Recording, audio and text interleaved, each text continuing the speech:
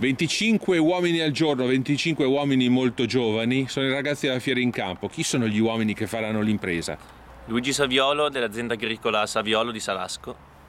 Riccardo D'Ambrogio dell'azienda agricola D'Ambrogio Franco di Lamporo.